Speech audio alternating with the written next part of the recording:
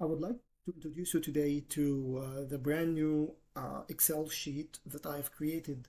Um, it has a tool that just uh, save a lot of time and effort when you are exporting and importing from the Primavera file um, when you are updating your schedule. So I'll just uh, show in a very uh, uh, short time here how to work with it and how you can use it. So let's get started. So first of all, I have this Excel sheet created. You have to keep it open in the background. You don't have to work on this sheet.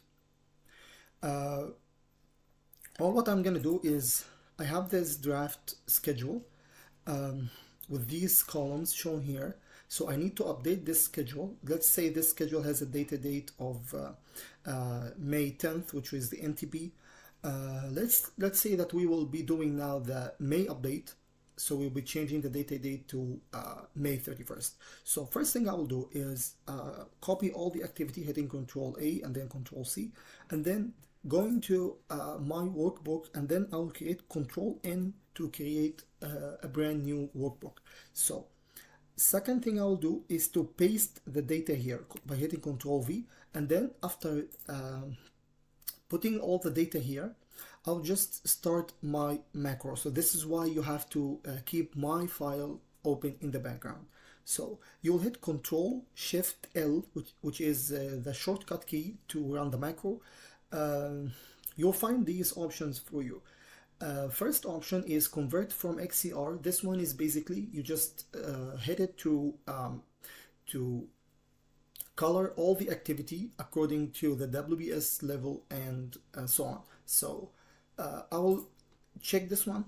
Second one is creating the update template. These two can work together. You can hit them together and apply. It will uh, it can be done simultaneously in the same in the same step. I mean, so uh, update template uh, is just to uh, put a conditional formatting to highlight any modification that has been done to the schedule. So I will check these two and then hit apply. Uh, now I'll find that the activity, uh, the activities now uh, is colored, are colored according to the WBS level. So uh, uh, here's, here's the procedure that we'll be working on. So first thing, if you are the planning engineer and you are uh, making the update yourself, so this is to help you if you're to go to the site and just put the update or if you're getting data from construction manager or project manager or site planning engineers. So uh, this is going to be very helpful for you. So you can send them this file and then they can put their input regarding the start, finish, activity completion date, actual cost, and remaining duration, and then you can work on these uh, on these adjust and these modifications, and then put it right back in your Primavera. It will save you a lot of time, especially in uh, in schedule that has like more than uh, 2,000 or 3,000 activities. This schedule I'm working on now just have 100. It's just a sample for you, uh, so you understand how this uh, how this works. So let's say we will uh, edit here the NTP and instead of saying it will start it should start on May May 10th I'll say it start in May 11 and you'll see here that has orange color. That means I, I make a modification here. So also here I will uh, change this one to be May 12 and let's say it's completed in May 16th and uh, it has a 100% so if this is uh, if this is uh, this is an uh, activity that has actual start, actual finish, and uh, percent complete, this one has only actual start.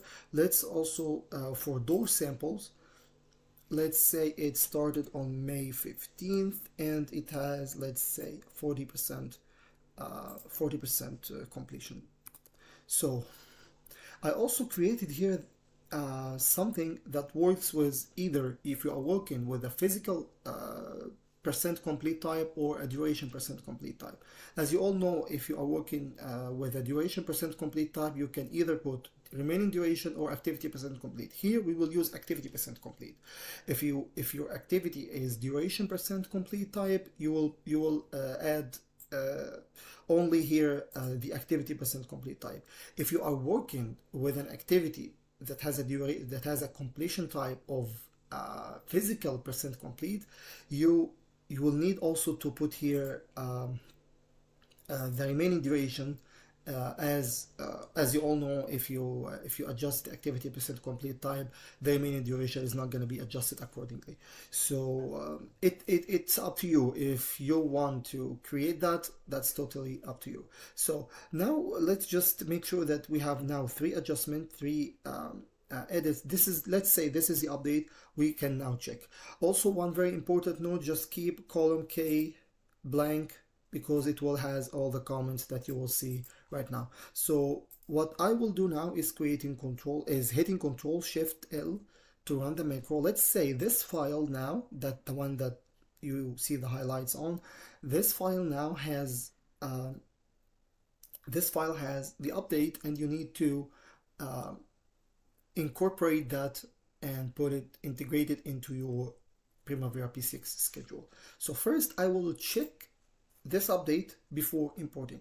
So just select check for import and then click apply.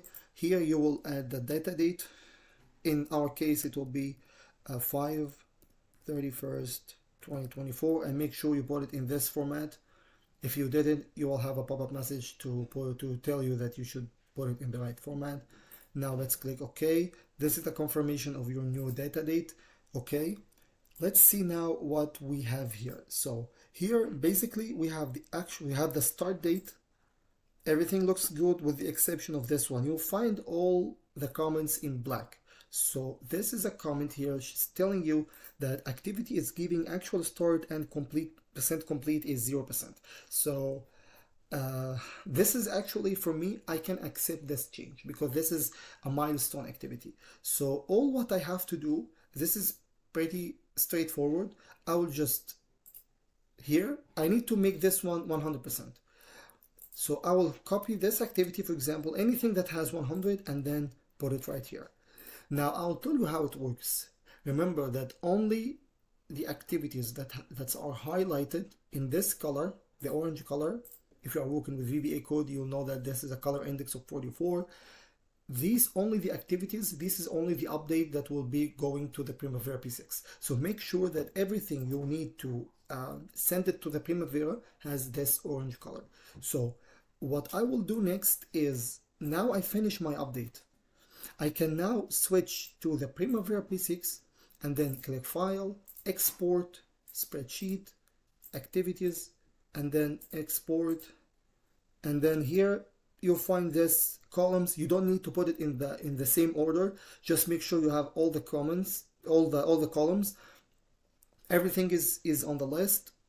Make sure you have id status WBS code name start finish actual start actual finish remaining duration activity percent complete and the percent complete type. This is how you know that this is a physical or duration percent complete activity and then the actual cost. Now if everything looks good i'll just hit ok then click next and then I can save this one in my uh, in my desktop. And then click open.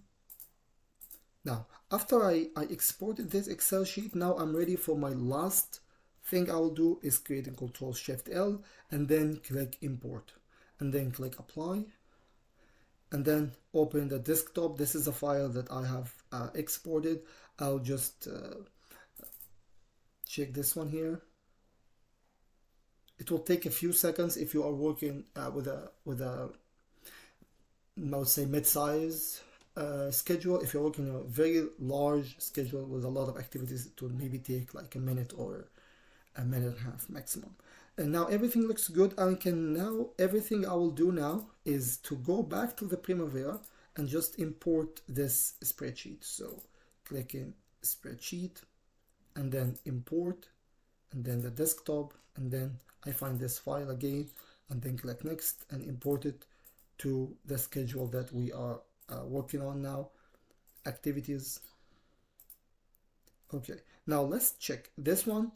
All the modifications that we have created NTP start on May 11 you can find it on May 11 and for permits and doors and uh, door samples we say that uh, permits May 12 and ended on May 16th let's check yeah it's it's there and the last thing is the door door samples supposed to start on uh, now start on May May 15th and has a 40 uh, percent complete. Let's check. May 15th, 40%. Everything is in order. That's uh, that's uh, that's good. Now we have saved a lot of time and effort uh, instead of working on the Primavera just to update every file. I hope you enjoyed it, and I hope uh, I will I will uh, put it right there so you can uh, you can work with the, with the file, and you can send me if you have any comment or if you if you want to add some tool to it.